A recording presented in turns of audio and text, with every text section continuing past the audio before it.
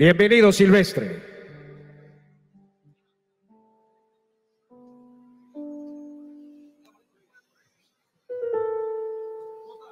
Muchísimas gracias. Primero que todo sentido, pésame a toda la familia porque para mí él me hizo sentir siempre su familia.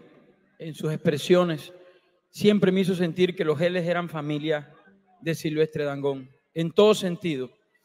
Tengo gratos recuerdos, tengo momentos vividos inolvidables con Juancho, mi defensor número uno, Juancho Geles el mismo Omar, sus hermanos, la vieja Hilda que me la llevaba, cuanta caseta había, me la llevaba.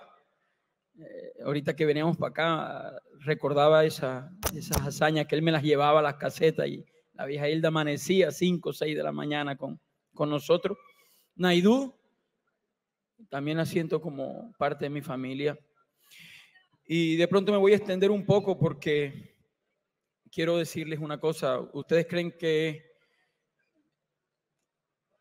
las personas no oyen ni sienten porque ya partieron de este mundo y al contrario. Yo quiero decirte, mi negro, que este fue el viaje más largo de mi vida aquí a Valledupar. Me levanté muy temprano, con ganas de venir a verte y darte las gracias por las 12 canciones que me diste.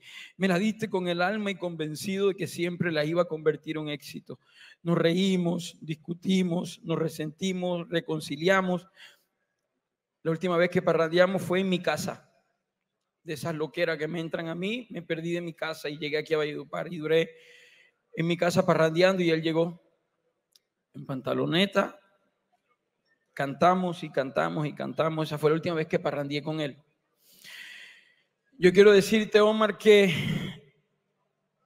cuando venía con Peter en el avión, la gente no sabe lo que perdió. La ausencia no se va a sentir ahora.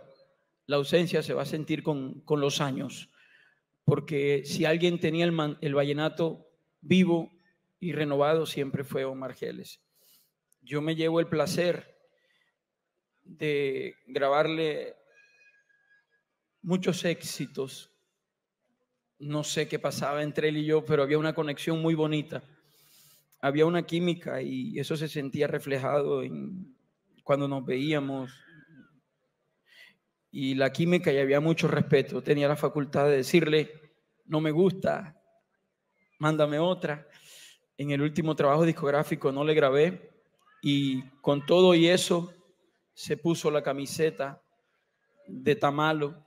Él le gustaba la canción mía, la vallenata. Se fue para mi casa, parrandió y se fue esa noche para un para un pueblo por Villavicencio y cantó con la camiseta.